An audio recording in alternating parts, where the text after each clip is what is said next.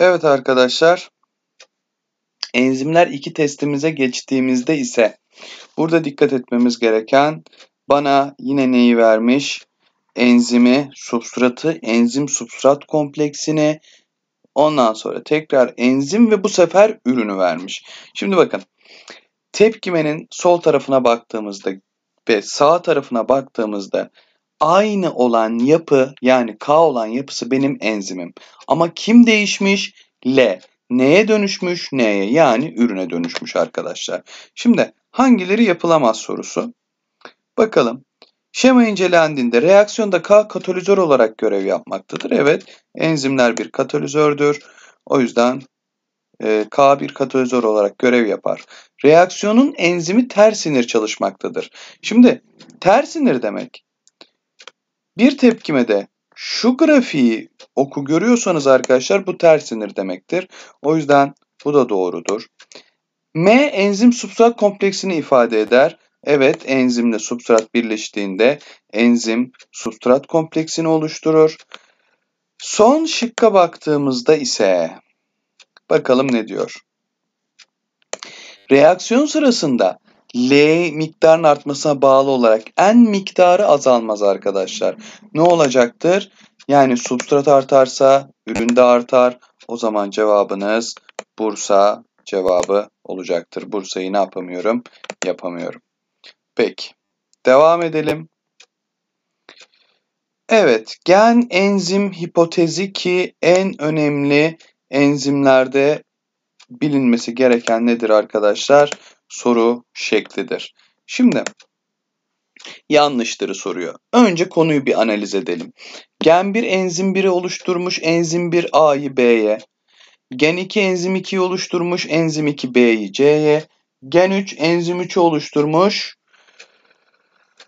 o da C'yi D'ye çevirmiş. Yani buradaki amaç A maddesinden D maddesi elde etmek. Bunun için 3 farklı enzimi kullanmışım ve bunları takım halinde çalıştırmışım.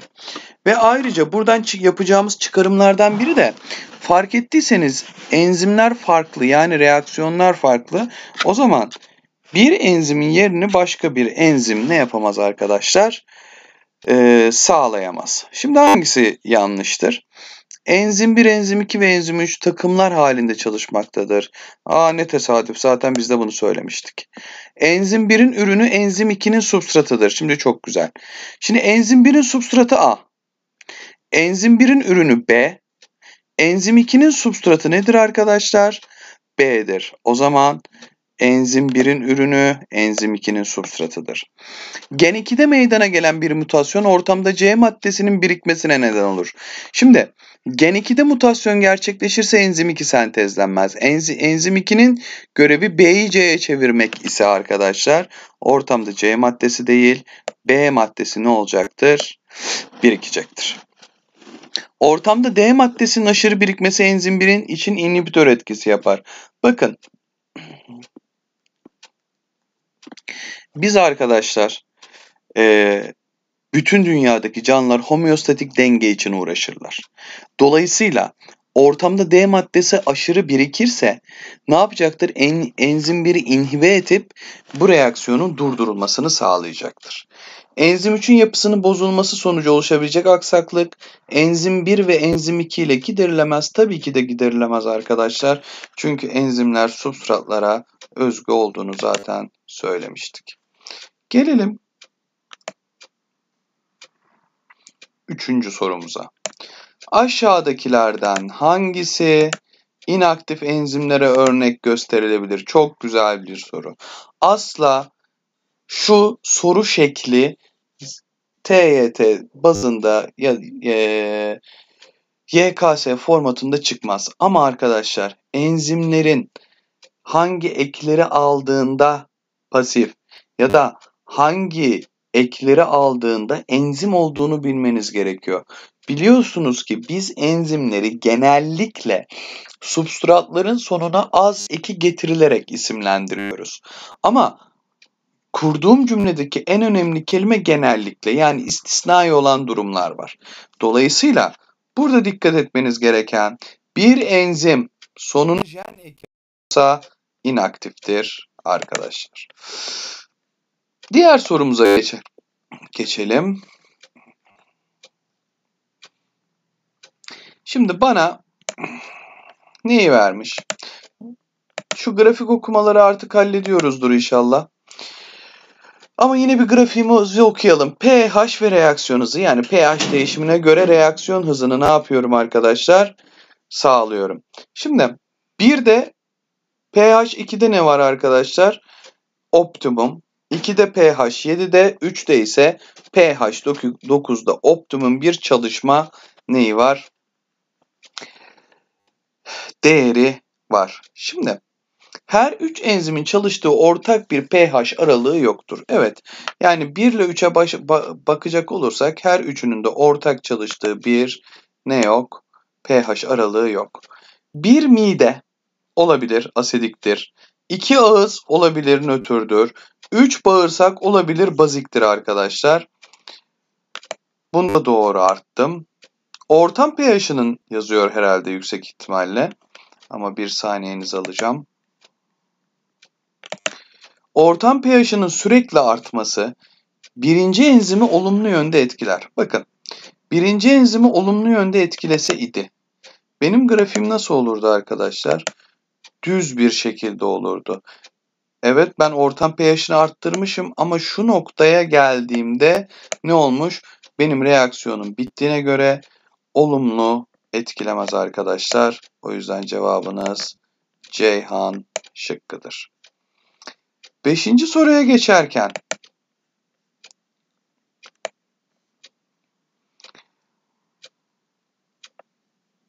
Evet.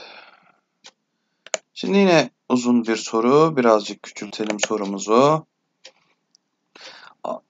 Aşağıda verilen deney düzeneklerinin içerisine eşit miktarda hidrojen peroksit konularak açığa çıkan oksijen miktarı ölçülmüştür. Hidrojen peroksit karaciğerde üretilen katalaz enzimi ile su ve oksijene parçalar. Deneyin başlamasından bir süre sonra oksijen ölçerdeki değerler 3 büyüktür, 2 büyüktür 1 şeklinde gözlenmiştir. Buna göre bu durumun oluşması seçeneklerden hangisiyle açıklanır? Şimdi 3'te en fazla daha sonra 2'de, daha sonra 1'de. Şimdi o zaman bana şu yargıyı verdiyse benden ne istiyor? Substrat yüzeyinin genişliğini istiyor. O zaman arkadaşlar substrat yüzeyinin genişlemesi reaksiyonun daha fazla ve daha hızlı olmasını ne yapmış? Sağlamış. Evet. Bir diğer sorumuzda birazcık büyütelim.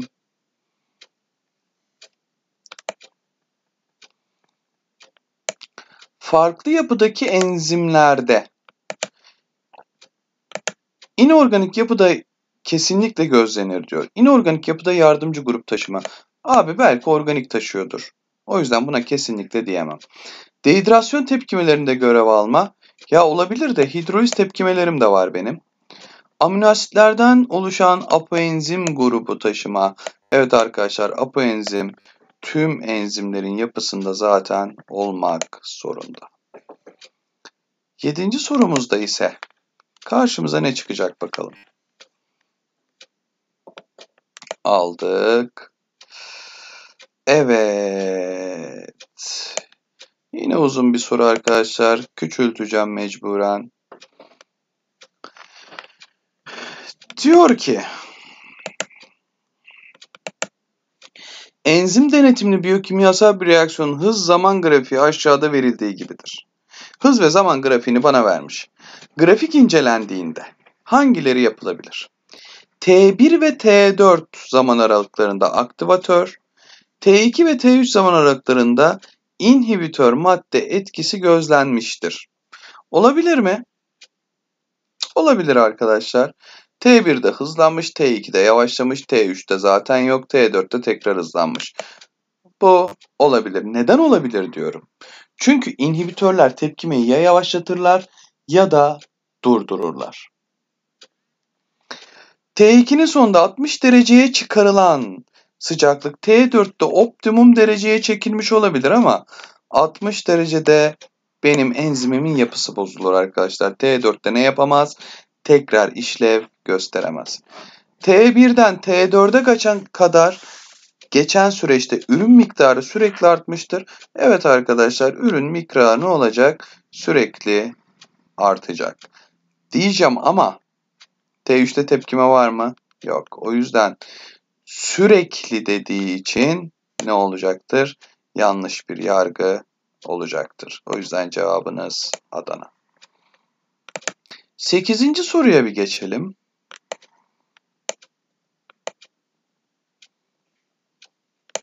Evet bu soruyu sanki büyütebiliriz.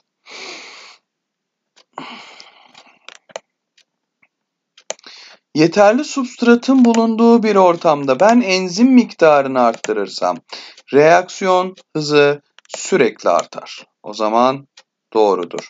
Maalesef ki pH arkadaşlar sürekli artarsa ne olmayacaktır? Tepkime sürekli artmayacaktır. O zaman üçleri ben bir eledim. Substrat yüzeyinin arttırılması. Evet abi ben substrat yüzeyini arttırdığım zaman reaksiyon hızını arttırırım ama sürekli değil. O yüzden sürekli olmadığı için cevabınız ne olmalı arkadaşlar? Şuraya yazıyorum. Yalnız 2 olmalı. Küçük bir hata ama lütfen dikkat edin buna. Evet tekrar söylüyorum substrat yüzeyini arttırırsam reaksiyon hızı artar. Ama bende yeterli substrat dediyse arkadaşlar benim enzim miktarına ne yapmam lazım? Arttırmam lazım. Yani milli eğitim bu sana hiç yakışmadı. Gelelim bir diğer soruya. Aşağıdakilerden hangisi aktivatör değildir? Direkt bir bilgi sorusu arkadaşlar. Burada kimyadan biliyor olmanız lazım. Civa ağır metaldir ve ağır metaller arkadaşlar aktivatör değil inhibitör olarak görev yaparlar. 10. soruda yine güzel bir soru. Enzim ve substrat miktarının sınırlı tutulduğu deney ortamında reaksiyon hızının zamanla değişimi aşağıdakilerden hangisinde verilmiştir? Şimdi mantıklı düşünelim. Enzim ve substrat miktarım sınırlı. O zaman sınırlıysa önce benim reaksiyonum artacak. Zaten artacağı için otomatikman arkadaşlar C ve D şıkları gitti. Sınırlı dediği için B şıkkı da gitti. Geldim A ve E şıkkında tercih yapmaya. Şimdi burada neden tercih yapmak zorundayım? Benden ne istiyor? Reaksiyon hızı. E substrat biterse reaksiyon kalır mı? Kalmaz. O yüzden arkadaşlar ne olacaktır? Şurada bir çizgi olduğu reaksiyonun bittiği anlamına gelir.